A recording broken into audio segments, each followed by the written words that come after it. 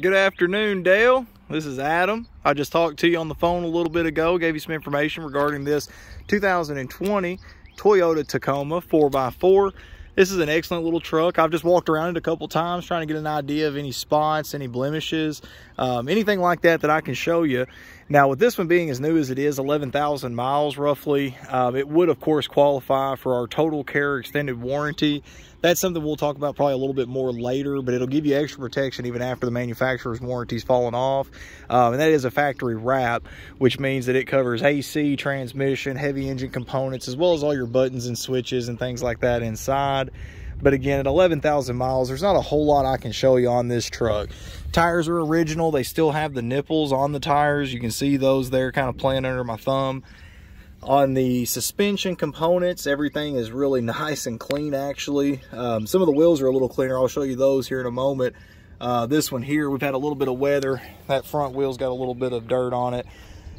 Going down the side of the truck though, I'm not seeing any spots where a cart or anything, a shopping cart's made contact. It's just a really, really nice vehicle.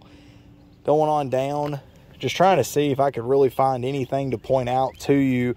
Those are the factory Toyota tires there. That is a destination from Firestone. Just a very, very sharp look on those. I like the almost blacked out look, but again, this color doesn't show the dirt near as bad as black wood, which is always a positive. Now, here, this could just be wax from where we had sent it through the detail. Yeah, that's actually coming off. Yeah, that's coming off. Um, bed of it doesn't really look like it's been used just a great deal at all. You can see a couple little spots right there on the top of the tailgate where somebody probably didn't lower the door and went ahead and put something in the truck. That's normal, especially if you use it like a truck. The whole bed liner is just amazing. Um, it's got the actual strap or the tension ties down there on the sides that are adjustable. Those are just great. They slide front to rear so you can adjust it any way that's necessary.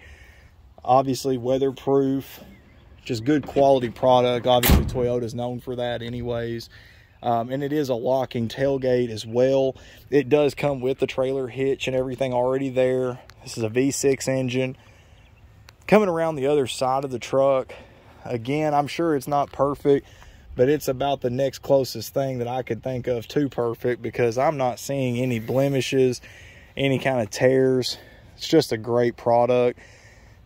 It's got the fender flares up in the front, like the mud guards that's an extra add-on on a lot of these vehicles so that's really nice to have. The front end is just beautiful. It's got the fog lights right there underneath.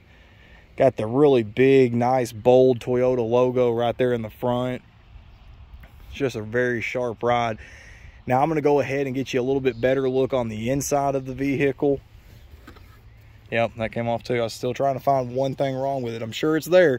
I'm not seeing it We'll get a video though for the front, or I'm sorry, for the interior, and then we'll be able to see what kind of numbers we can work out for you.